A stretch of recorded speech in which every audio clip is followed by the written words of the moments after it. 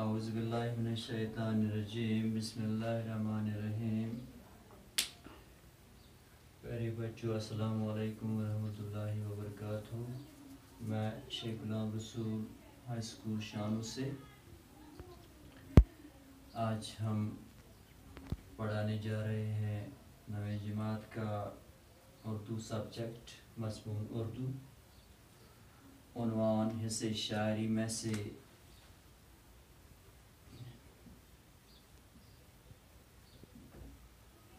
फिराक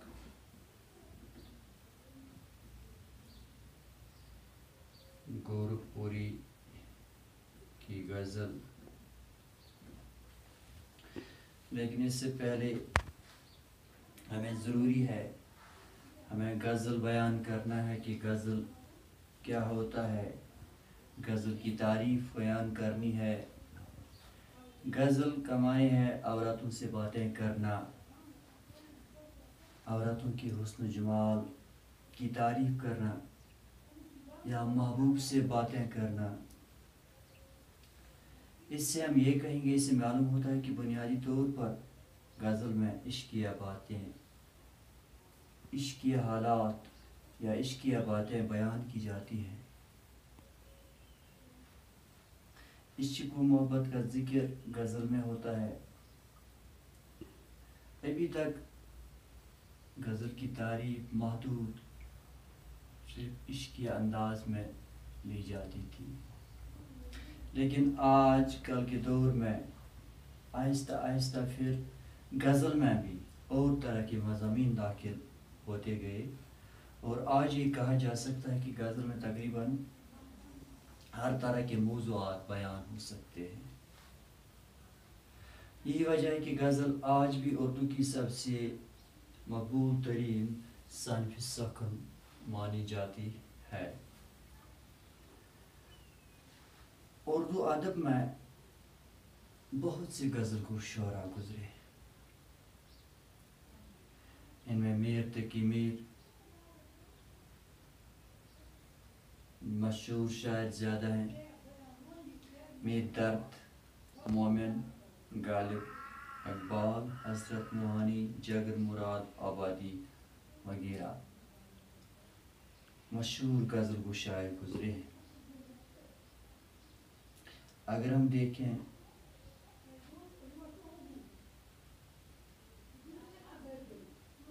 प्रोफेसर रशीद अहमद सदीकी ने गज़ल के मुतलिक कहा है कि गज़ल शायरी की आबरू है गज़ल शायरी की आबरू है। और हसरत मोहानी ने इस गज़ल को तगजुल तगजुल दिया। बुनियादी तौर पर गज़ल अरबी शायरी के असर से हुई और फारसी शायरों ने वाकई गज़ल को गज़ल बना दिया गज़ल के अजाई तरकीबी जो हुए, गज़ल के बहुत से जुज होते हैं, जिनको हम अजाई तरकीबी कहते हैं।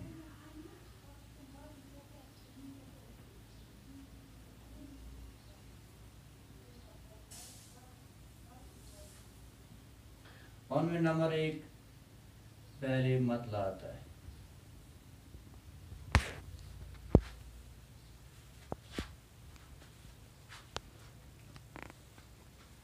मतला दूसरा है रदीफ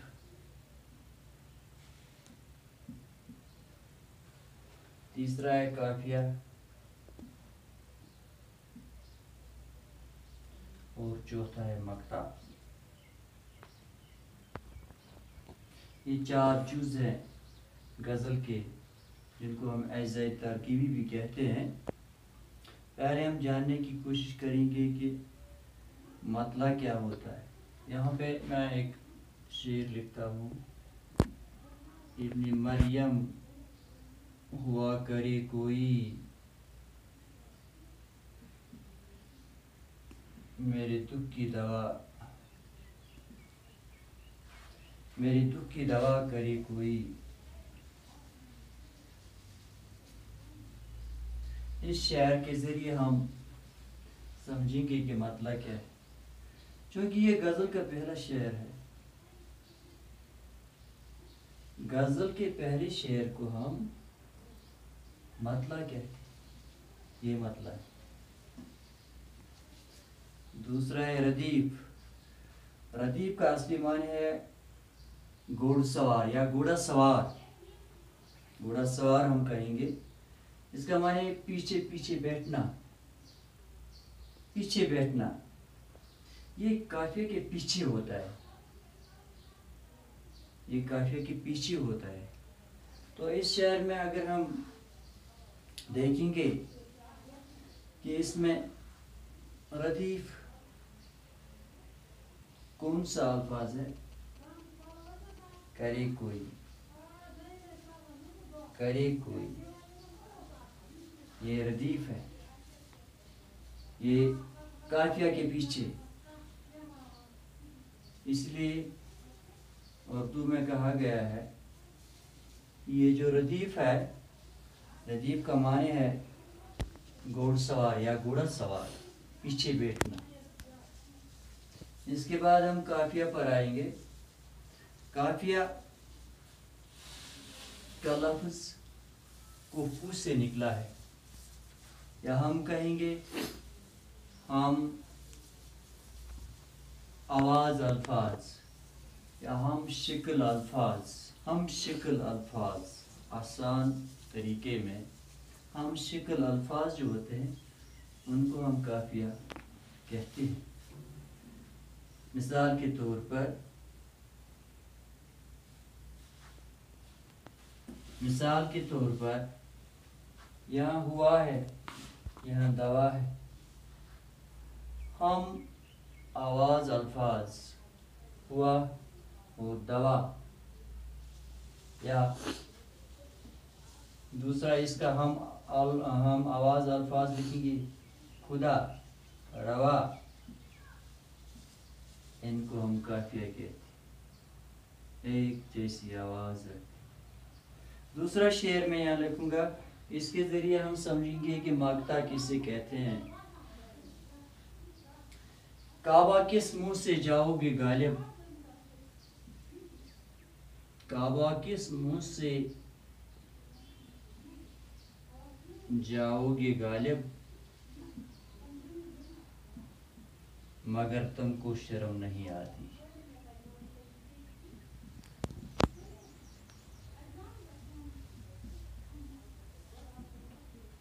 देखिए मक्ता में शायर अपना शायराना नाम इस्तेमाल करते हैं। अपना शायराना नाम शायराना नाम अलग होता है शायर का, अपनी उस असली नाम के अलावा। तो गालिब को हम लेंगे। गालिब का असली नाम है असदुल्ला, लेकिन गालिब ये शायराना नाम है, जिसको हम तकुल्स कहते हैं। इसी को मक्ता कहते हैं। मक्ता वो शहर जिसमें शायर अपना तकुल्स इस्तेमाल कर, करता है। यहाँ पे गालिब ने अपना तकुल्स इस्तेमाल किया है इस शायर इस शेर में। ये इसके एजाई तरकीबी हैं।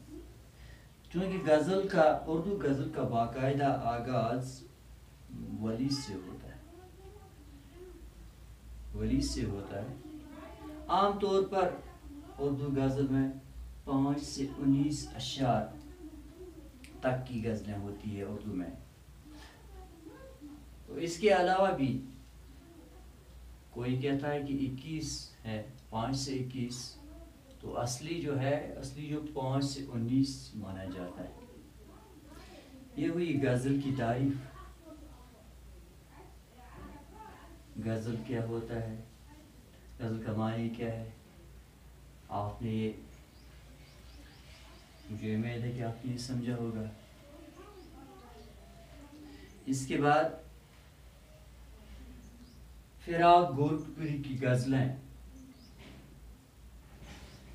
उसी से हमने शुरू किया है। उसकी पहली गज़ल। लेकिन इससे पहले कि हम गज़ल का, गज़ल की तशरी करें। हम यहाँ पे फराग गोरखपुरी के बारे में उसके हालात और खसूसियत कलाम भी याद रखेंगे। फिराक गोरखपुरी की पैदाइश अठारह सौ छिहत्तर ईस्वी में गोरखपुर में हुई। अक्सर ये हमें याद रखना है कि गोरखपुर एक जगह है, लेकिन है कहाँ? ये हिंदुस्तान में भी, हिंदुस्तान में ही है। वहाँ पे कहाँ है? हमें याद रखना है, ये उत्तर प्रदेश एक रियासत है, हिंदुस्तान की बड़ी रियासत। ये गोरखपुर वहीं एक शहर है। उसी गोरखपुर में फिराक पैदा हुई। उसका पूरा नाम था रघुपति साही पूरा नाम? बाप का नाम मुंशी गोरख प्रसाद इब्रत। मुंशी गोरख प्रसाद इब्रत। बाप का नाम था। जहाँ तक उसके बाप का उस नाम, यहाँ लगता है कि इब्रत इब्रत, उसके बाप की तकल्लुस है यानी कि यहाँ पे ये लगता है और लगता क्या है? ये है कि फिराक गोरखपुरी को ये शायरी वरासत में मिली है उसका बाप भी शायर था। तो पैदा होने के बाद सात साल का जब फिराक गोरखपुरी हो, हो गया तो उसका दाखला स्कूल में किया गया। है वो हमेशा अच्छी नमरात लेकर पास हुआ है। अच्छे नमरात लेके पास हुआ है। आला तालीम हासिल करने के लिए मैसूर जाना पड़ा। जहाँ से बीए का इम्तहान अच्छे नमरात लेकर पास किया। चूँकि हुकूमत फिराक की काबिलियत से मुतासर हुई। उस वक़्त हिंदुस्तान अंग्रेज़ों के शिकंजे में था। अंग्रेज़ों का गुलाम था। अंग्रेज़ी हुकूमत ने उसको कलेक्टर के अहदे के लिए मुंतखब किया। लेकिन फिराक गोरपुरी ने इस अहदे को टुकरा दिया। ये याद रखना है, फिर हमें, फिर हम अच्छी तरह इस पर नोट लिख सकते हैं। फिराक गोरखपुरी ने ये पौधा कबूल नहीं किया। उसके बजाय उसने क्या किया? वो कौमी तारीख में उसने कौमी तारीख में हिस्सा ले लिया। वो कौमी तारीख में शामिल हो गया। क्योंकि उन दिनों हिंदुस्तान गुलाम था, आज़ादी लड़ रहा था। तो इसलिए उसने उस अहदे को छोड़ दिया, तस्लीम नहीं किया। बल्कि कौमी तारीख में शामिल हो गया। इसके बाद अलाहाबाद यूनिवर्सिटी में अंग्रेज़ी के प्रोफेसर मुकर हुए। और जब अलाहाबाद यूनिवर्सिटी में प्रोफेसर मुकर हुए तो फिर वहाँ ही क्याम किया उसने। आज तीन मार्च उन्नीस सौ बाईस ईस्वी को इस दुनिया से चले गए। ये थी उनकी ज़िंदगी। जब हमें इस पर नोट लिखना होगा तो हम यही अल्फाज याद रखेंगे और लिखेंगे।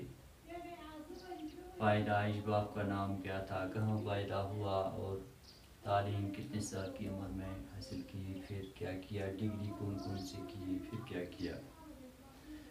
उनका जो कलाम था, इसमें ज़्यादा तगजुल पाया जाता है। रंगीनी भी है। रंगीनी का मतलब है? फिराक गुरपुरी का कलाम जो है, वो थोड़ा सा क्योंकि फिराक गोरपुरी असली अंग्रेज़ी ज़्यादा जानता था। शायरी तो वरासत में मिली थी। इस, इनके कलाम में तगजुल था। मुशाहिदा, इनके कलाम में तगजुल है। मुशाहिदा तरनम तारीखी हकाइक जज्बात निगारी और नफ्सियात भी शामिल है। नफ्सियात उनके कलाम ये था इनका खसूसियती कलाम। चूँकि गज़ल की तारीफ़ हमने यहाँ पे बयान की, मुझे उम्मीद है आपने याद रखी होगी।